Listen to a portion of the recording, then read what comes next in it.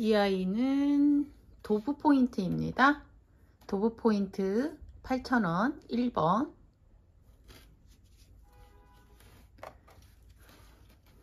2번 패션 매직 AY 패션 매직인데요. 이렇게 예쁘게 물드는 아이예요. 별이 들었다고 하죠. 패션 매직은 15,000원 얘는 GL 그라시하고요. 9호분에 들어있습니다. 이렇게 사이즈 좋고요. 꽃대 있습니다. GL 그라시아 얘는 18,000원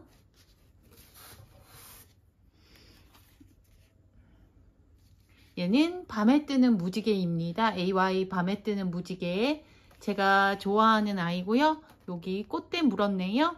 얘는 15,000원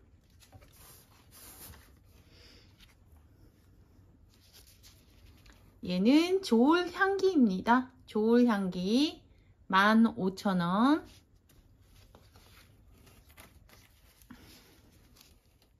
얘는 총채 총채 만원입니다. 사이즈 굉장히 좋고요. 빨간 꽃이 주먹만한 빨간 꽃이 피는 총채 추천드려요. 앤틱 로즈는 핑크색 꽃 다들 알고 계시고 요거는 만원 사이즈 굉장히 좋습니다. 이렇게 키가 굉장히 그리고 대롱도 얇지 않고 굵어요. 그 다음 빛 붓케 굉장히 사이즈 좋지요? 보면 손바닥 길이보다 훨씬 길은 그리고 꽃대가 빛 붓케 15,000원입니다.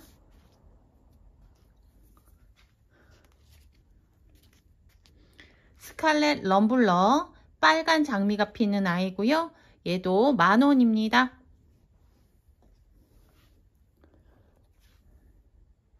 제 비엔 엘라미고이고요. 엘라미고는 만원. 얘는 비바 로지타입니다. 비바 로지타는 빨간색 꽃이 피는 정열적으로 겹꽃으로 피는 아이예요. 비바 로지타 15,000원. 얘는 지아 로즈입니다. 지아 로즈 만원.